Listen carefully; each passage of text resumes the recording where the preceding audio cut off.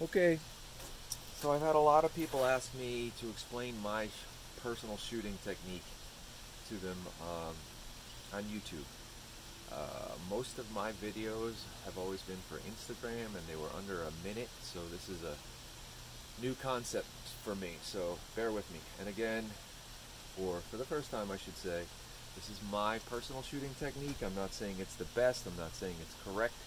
I'm just saying that after years of shooting, this is how I found the most efficient way for me to be accurate. So, that being said, let's get to shooting. Uh, this is a longbow.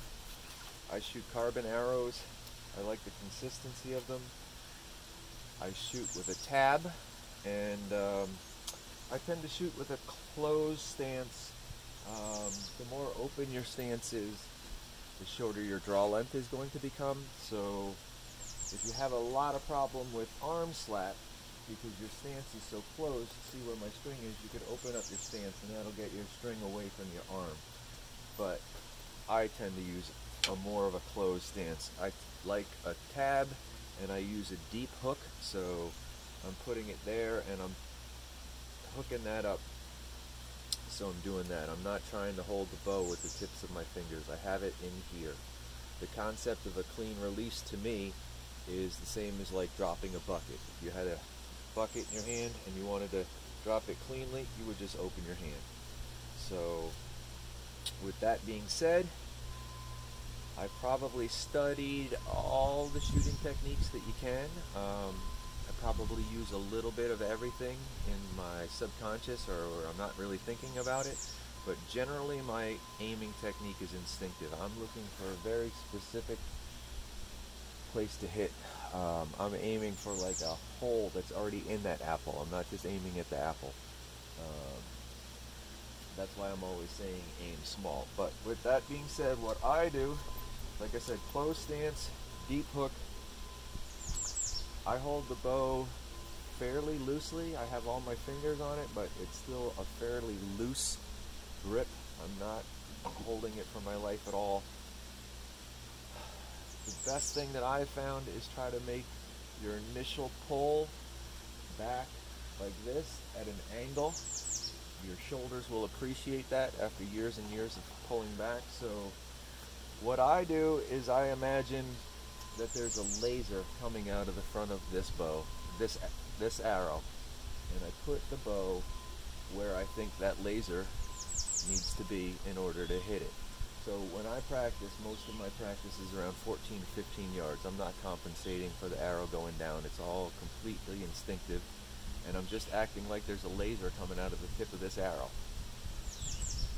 So when I come to full draw,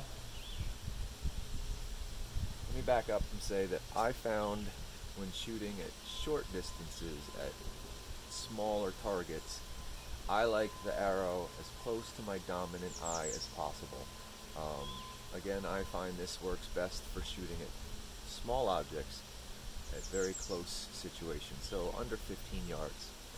So when I'm coming to full draw, I put this arrow as close as I can to my dominant eye. What I also do is I essentially have two anchor points. So when I come back, and I don't like to think of it as an anchor point, don't think of it as a place to come to rest. What you want to do is come, I come to my first anchor point, it's about here, and I'm doing all my aiming, and I'm getting ready to release the arrow. And as you can see, that feather is only about an eighth of an inch from my nose But once I've done my aiming and I'm ready to rip, I'll just pull straight back until that feather touches my nose, and then I try to make a clean release. Um, the only thought in my head when I'm making the release is once that feather touches my nose, I try to imagine a golf ball dropping off my shoulder, and I want to bring my hand back to catch it. So I'm getting lost in my whole train of thought. I'm going to do a uh, take a shot, show it to you, and we'll just kind of call it a call it a day. Um,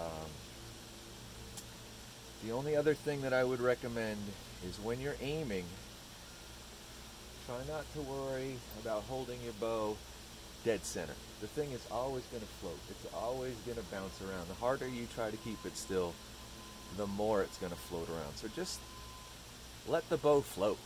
Um, do your aiming, and whether you're using a trigger or the feather touching your nose, when you release it, all that floating is going to take care of itself. Don't even worry about it. Um, but the last thing that I want you to think of is when you're at full draw, imagine you're shooting a rifle and your back elbow is the back sights of that rifle and the tip of this arrow is the front sight of the rifle.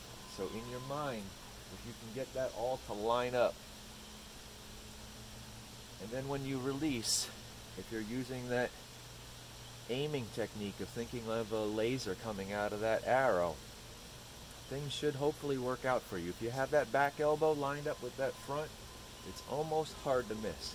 So anyway, I'll take a couple shots, show you my form. I don't know if I'll leave the comments open on this because people tend to chime in with nasty stuff, but we'll see. If you have questions, hit me up and I'll just take a couple shots and we'll go from there. So first my stance, deep hook, and then I'm focusing on exactly where I want to hit. So let's just say for instance I want to hit that apple. Pull back this way from the full draw, settle in, pull back till that feather touches your nose, and grab that golf ball. That's what I got for you. If you have any questions, hit me up. I hope this explains some things to certain people. If it helps you, good for you. Uh, if I can help somebody out there, that's awesome. Y'all have a great day, and I'll just finish up these shots.